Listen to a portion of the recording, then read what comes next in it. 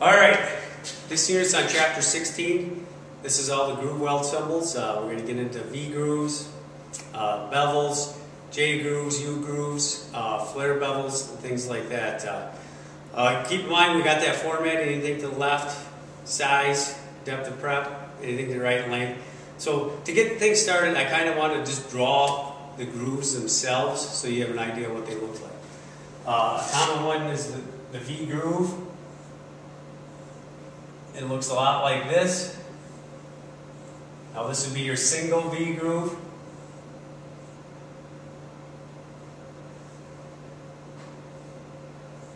This would be a double V groove. Symbol for your single V groove looks like this. Arrow side.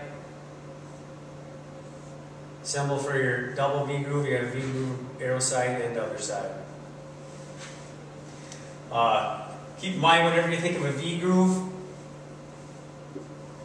two pieces are being prepped. The next one I want to explain is a bevel. In a bevel, one piece is square,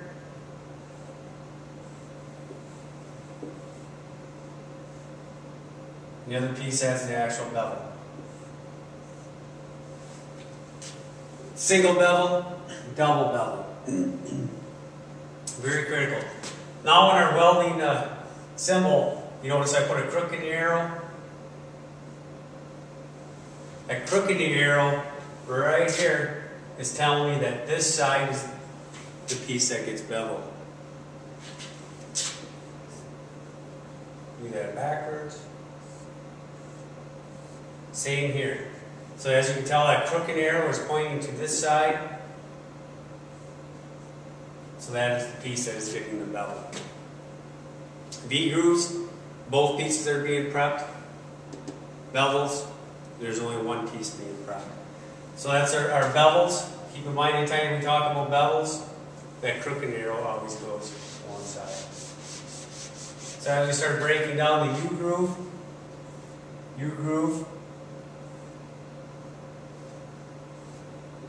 shape like that, symbol, arrow side, U groove, double U, looks like this.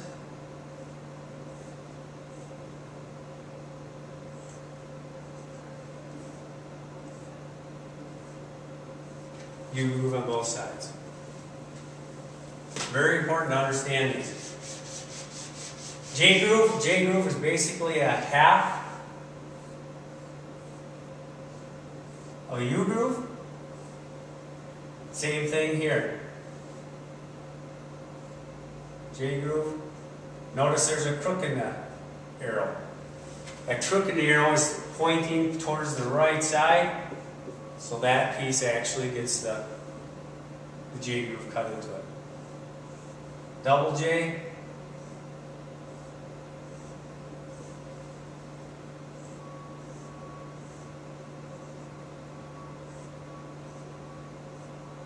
So that's what that would look like. Crook and arrow is pointing towards this piece, so your double J is prepped on the right hand side. Keep in mind too, that vertical on your J groove is always on the left side. Don't get it confused. For example, if there's a symbol that looks like that, that is not a weld symbol. Or like that. The vertical's on the right hand side, it's not a weld symbol.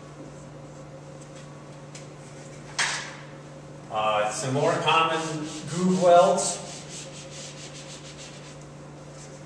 is your flare, or your uh, flare bevels.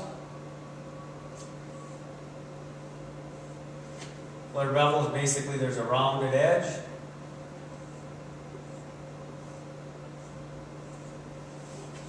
So basically that's what that looks like. Flare bevel, the vertical is always on the left pointing towards this side. A lot of your round pipes that you're going to be welding, they all have flare bevels.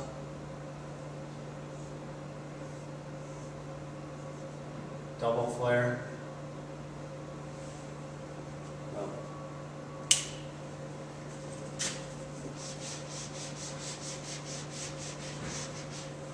Also, another common one is your, your square groove. Just two pieces butted up to each other. Could be arrow side, opposite arrow side, however it may be. So those are some of the, the common joints that you're going to be going through in this chapter. I figured I'd draw them out on the board so you had an idea of the representation of what they look like um, in the symbol. Now, as we start breaking these, these uh, groove welds down, here's where the depth of preparation comes in. I'm going to do a single V for an example. Here's a single V joint. What does all this mean? We're going to put an arrow, an arrow and a reference line on here. That V groove is on arrow side, so that goes right here. I'm going to assume that this is a piece of one inch material. So our depth of preparation, let's go three quarters, parentheses, one inch. What does that tell me? Depth of preparation here is three quarters of an inch. Then if we put a weld in here, for example, it looks like that, my weld size is measured from here. That's what that is. Now keep in mind, for bevels, or for V's, or any type of groove weld, our weld size cannot be bigger than the thickness of our material. So the max weld size for this one inch V groove is one inch. Anything that sticks above here, for example, that little dimension right there, that is called reinforcement. Or whatever sticks through here, this could be melt through. We'll go over melt through. That is not included into your weld size. Let's keep breaking this down more and more. I'm going to draw another V groove, clean it up a little bit. Draw it a little bigger. Here's my single V. Let's draw welding symbol, arrow side. I'm going to use the same dimensions, three quarter, one inch weld size, one inch piece. Now I'm going to actually put some dimensions in above and below. Eighth inch. Keep in mind that eighth inch is telling me that there's a root opening of an eighth. Let's go 60 degrees. That is telling me that this overall included angle is 60 degrees. Now if we had to bevel these pieces, we'd bevel them at 30. So our overall angle equals 60. We can put a contour in there. Let's make it let's make it flat by grinding. So when I put this weld in here, here's my weld. That tells me that I actually have to grind that flat after it's completed.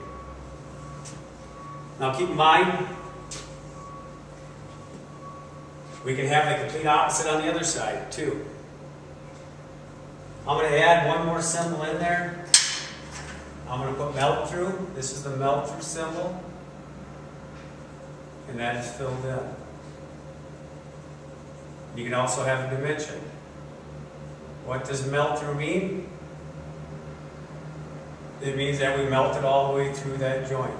So for example, if that's eighth inch dimension,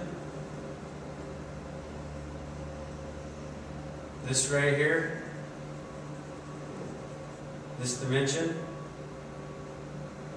is an eighth inch. That means that that weld, that when you weld it, you melt it through, and you melt it through an eighth of an inch past your base level. So that's what that little symbol is, melt through. Now, next I'm going to go through what they call backing or back welds. So, they both have the same thing. It's that little arch about a half of the circle. If it's not colored in, that is either what they call back or backing.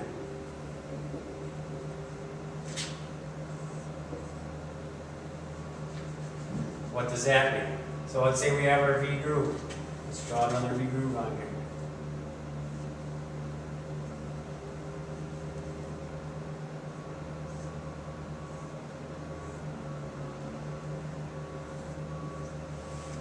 Groove. How do we know if back or backing? We don't know yet. Now, if there was something in the tail that says back gouge, we understand that that's what they call back weld. A back weld is done la- last. So what does that mean? That means we put our weld in here. It's welded completely. We flip it over, grind it out, and we put a back weld on the opposite side after that joint is filled up.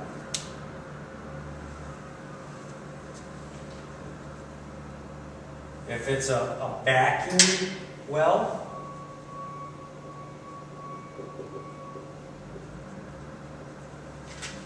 what does that mean? Backing means that that was welded first. The groove.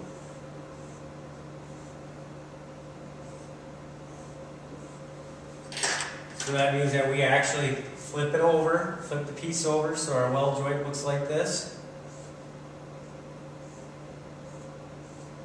And we put a weld on the back side, so we put a weld right here. First, flip it over, back over to that position, and we weld that joint shut. So basically that backing weld is acting like a backing strip so we don't blow through that joint. Backing is always done first. Back is always done last. Now there's there's other ways to represent that too. Tell if it's a backing or back weld, for example. We could have two reference lines. Something that looks like that. Order sequence, this reference line is closest to the arrow. So we actually put our backing weld in first, fill the V groove in second. So that's kind of what the difference between back and backing. Hopefully that cleared things up. Now I want to go through a couple, uh, couple examples of uh, some groove welds so we kind of get that sequencing down. Let's do a double bevel.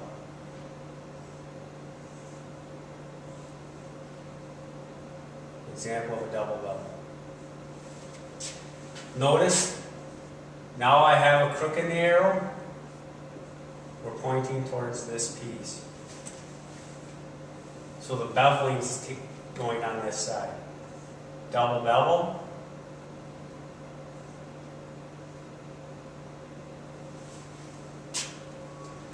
Still have everything else that's in here. We can have our eighth inch root opening.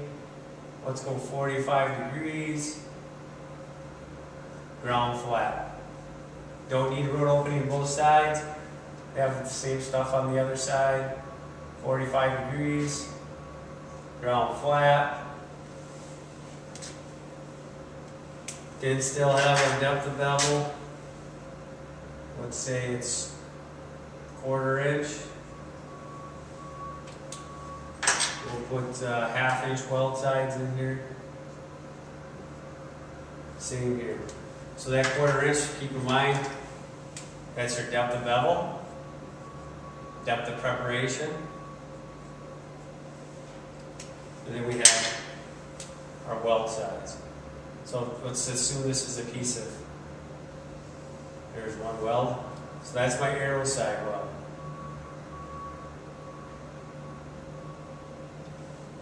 Let's put the same dimensions on the other side.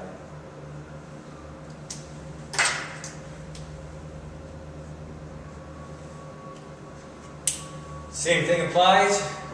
Depth of bevel right here quarter inch. Weld size, half inch. So that's what that's going to look like. This will be all filled in with weld. Then it's ground flat. Now, one inch material. What's my overall weld size? When you have something like this, take both weld sizes, add them up. So half plus a half equals one. We have one inch plate. When that weld goes all the way through that weld joint like it does now, they call that CJP. CJP represents complete joint penetration. So we weld it all the way through that joint. I'm going to do an example of a U-groove.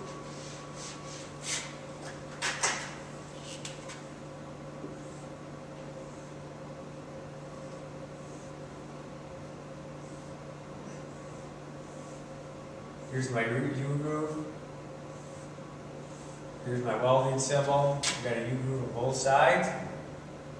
Everything can apply. Let's put an eighth inch root opening. Let's say 40 degree angle, 45 will go. Ground flat. Same thing here. 45 degrees, ground flat. Same thing applies to U-groove that V groove. Now, I'm actually going to put some different dimensions in here. Let's say this is a piece of one inch. Depth of preparation, let's put quarter inch. Weld size, 3 eighths. Quarter inch, 3 eighths. What's that mean again? Our quarter inch is telling us depth of prep. No different in the V groove. Weld size, 3 eighths. 3 eighths on the other side. Now, something a little different here. As you can tell right here, those welds do not touch. And you can actually add 3 eighths and 3 eighths, giving you 3 quarters. Three quarters is less than one. What does that mean? That means this is partial joint penetration. P, J, P. That means that that weld joint is not welded all the way through. Overall weld size, add both of our weld sizes. 3 eighths plus 3 eighths. 6 eighths, reduce down to 3 quarters. 3 quarters is less than 1. So we automatically know that this is partial joint penetration. Get used to that format. Anything immediately to the left is always weld size. And a number outside of that is usually is always going to be depth of preparation. Now, I'm going to do an example of a, a bevel. Let's do a single J.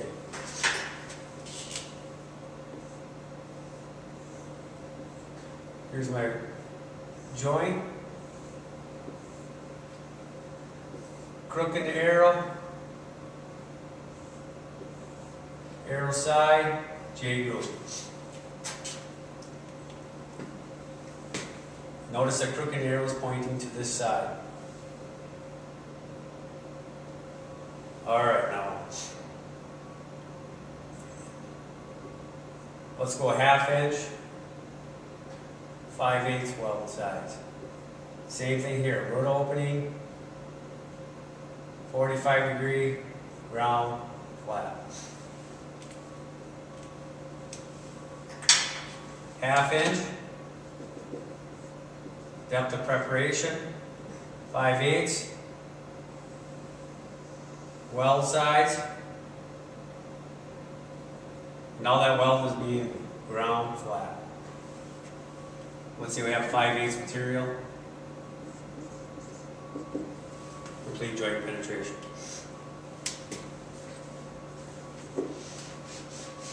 Now I'm going to give you an example of a single bevel.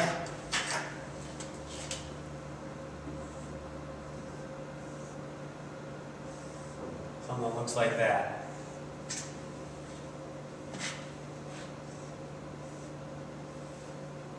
Arrow side. Let's say if I put a piece, let's just put one dimension there. Still at eighth inch, 45 degrees, ground flat. Now, if there's just one dimension to the left, that is representing depth of bevel in weld size. So our depth of bevel is a half inch. Our weld size is a half inch. It's representing both. So that bevel goes all the way through that material. As you can see, there's no root face on here, so let's put some other dimensions on here. Let's put melt through, other side. So that's representing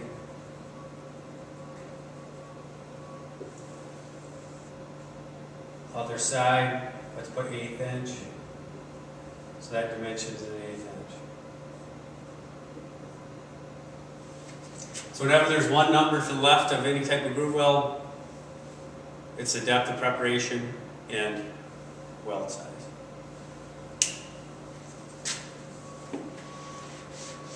So hopefully this clears up a lot. Uh, follow that format. Anything immediately to the left, weld size, another number, depth of preparation. If there's only one, it's both. Uh, anything above and below, root opening, your angle of your, your joint, your finishing contour, and your finishing process. Uh, very critical to get these down. Keep in mind if you have any questions about these weld joints or these welding symbols, make sure you contact your instructor.